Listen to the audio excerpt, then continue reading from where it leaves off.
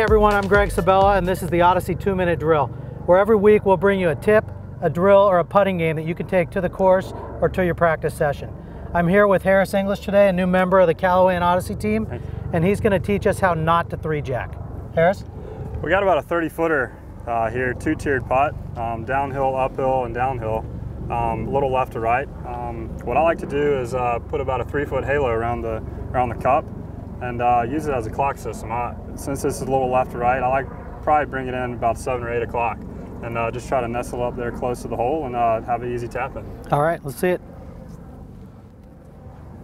I like to look at look at where the ball is going to roll and, and take two practice strokes, just trying to feel the speed.